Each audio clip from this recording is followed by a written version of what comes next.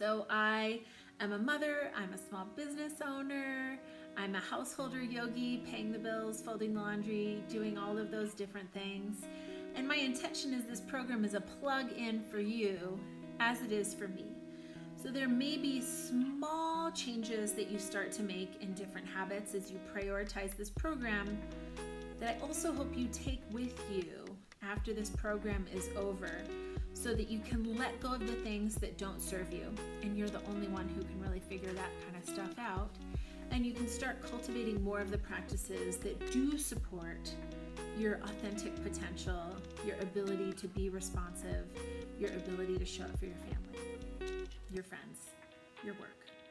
So, this course is really intended to be that plug in that you can use to gently, kindly, non violently change the habits in your life so that you can show up for yourself, for your family, for your friends, for the kids, and just start to access your most authentic potential.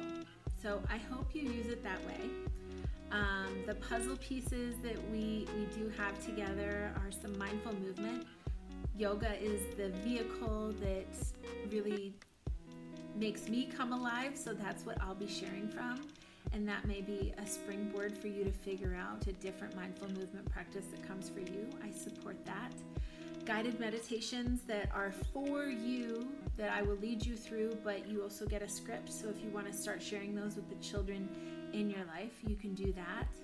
Uh, these readings by Deborah Adele and Marshall Rosenberg uh, that have been so informative, informative in my life.